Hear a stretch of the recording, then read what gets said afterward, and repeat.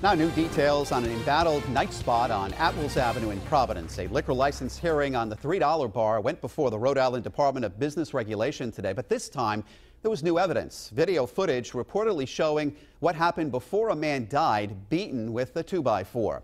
Eyewitness News reporter Jared Pliner is digging up more details tonight live from the newsroom. The video shown at today's hearing said to depict an unfortunate chain of events that ultimately led to death for one of the men involved. Video surveillance footage set to show a deadly July fight front and center at a Department of Business Regulation hearing Friday, all part of an ongoing appeal of the forced closure of Providence's $3 bar on Federal Hill.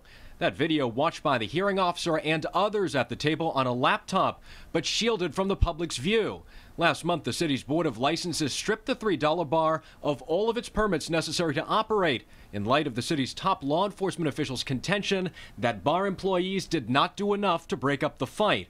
At the hearing, a police detective went frame by frame through the footage. He said it shows a verbal argument inside the bar and then a physical fight in a rear parking lot. Police say 34 year old Jonathan Stack of Glocester died after being beaten with a 2x4. 48 year old Daniel Estarza of Providence is charged with his murder. Detective Jonathan Primiano narrated. But that is, in fact, where he retrieves the 2x4 from. Counsel for bar owner Gianfranco Morocco says he believes his client's appeal will prevail.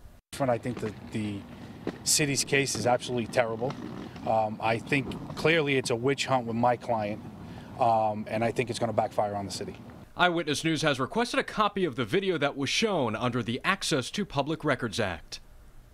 And Eyewitness News did end up hearing back from the DBR. It has denied our request, citing a quote unwarranted invasion of personal privacy, but said it intended to consult the Attorney General, Attorney General's office for further advice. Meanwhile, the bar appeals uh, appeal rather is continued for Tuesday. In the newsroom, I'm Jared Pliner, Eyewitness News.